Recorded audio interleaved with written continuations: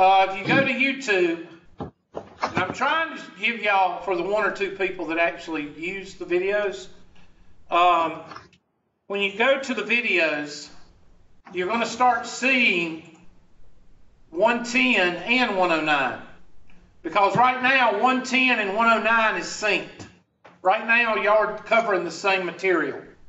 Okay, so when you go to the to my library and you go to playlist, you're going to see, and when you go to your Math 109, you're going to see, like the last day, I added, I added Math 110, 6.1, and 109, 5.1. Okay? Chapter 6 in Math 110 is the same as Chapter 5 in 109. So what I'm doing, I'm making videos. Today's video is going to be called Math 109, 5.1 or 5.2. It's going to be 5.1. And Math 110, 6.1. I'm covering both. So y'all shouldn't have any problems with what I'm covering. Does everybody understand what I'm talking about? You're getting double. So don't come to me with this crap of, you know, oh, I didn't know. So let me go ahead and I'm just going to do this. I might have gave you, I might have given you this the other day. Shut up. Oh. Go ahead and write that down. Uh, hope, did I, did I give y'all this the other day? I think you did. Oh, I think I did. It might have been different, and it's the same stuff. Just go ahead and take a picture of it or write it down, because this is pretty much what chapter five is going to be like. It's going to be regarding. Um, so, if you, I, did you say that we've written it before? We haven't? Okay, so go ahead and write those down. And with the, I'm gonna just circle some things that you need to highlight. And I'm gonna circle them in red.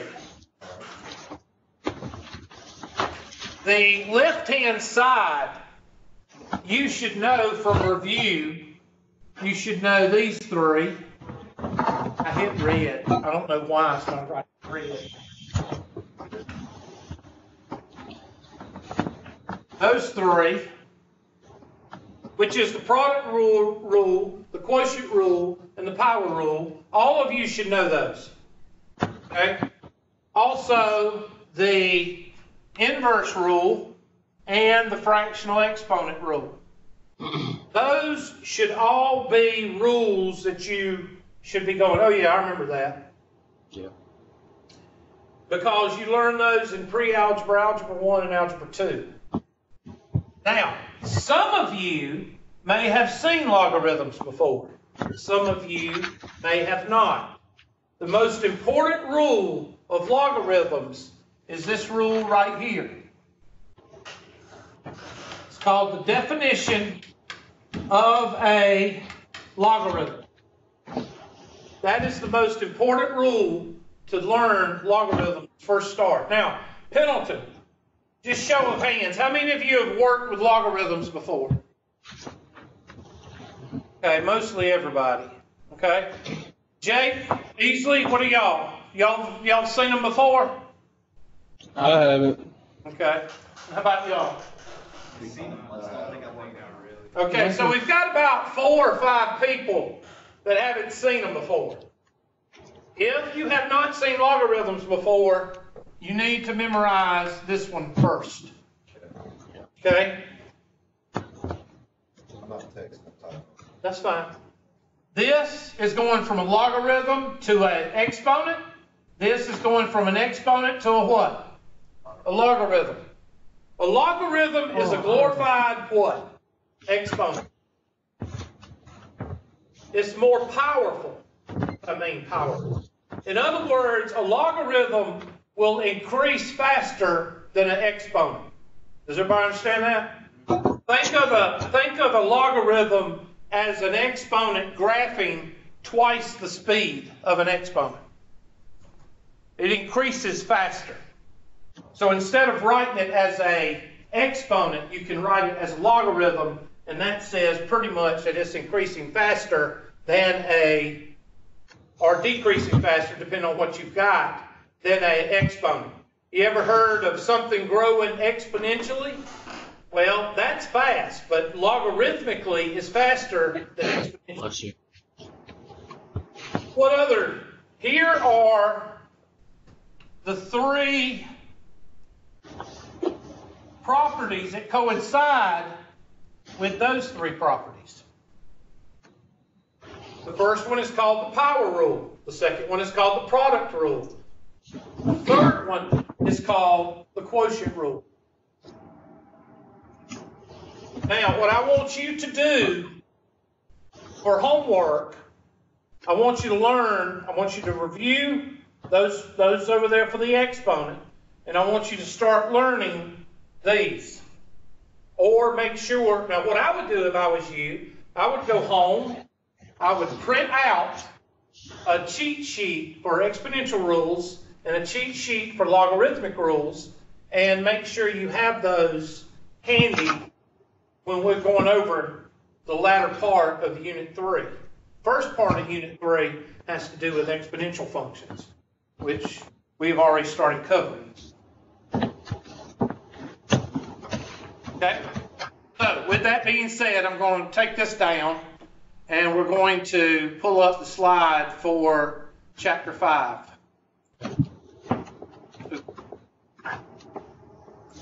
Uh, let me get rid of this.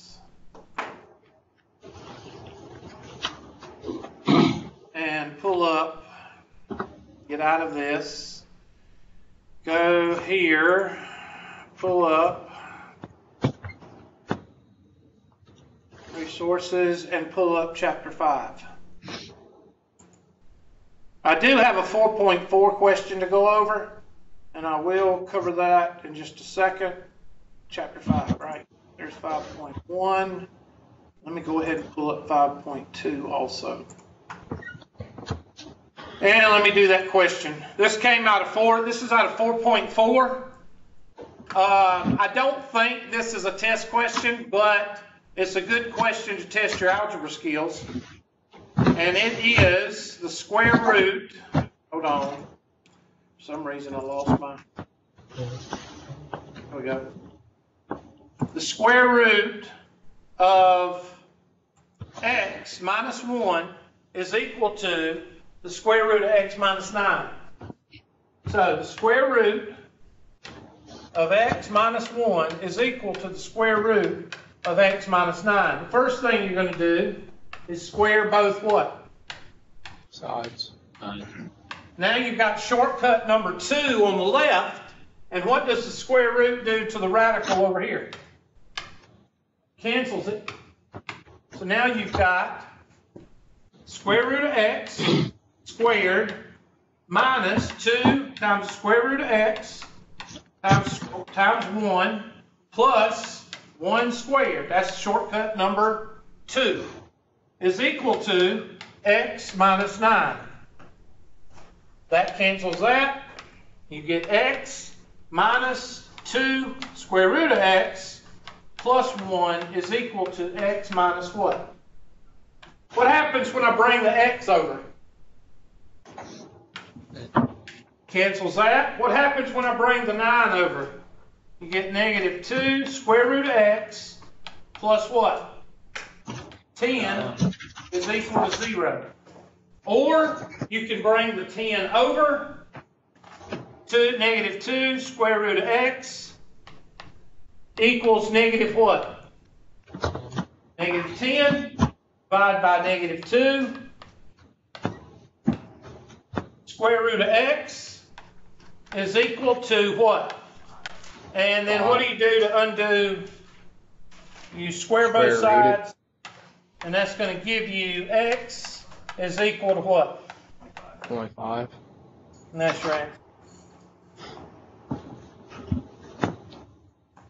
How'd you get the uh, 2 in the parentheses of square root, or next to the square root of x in parentheses?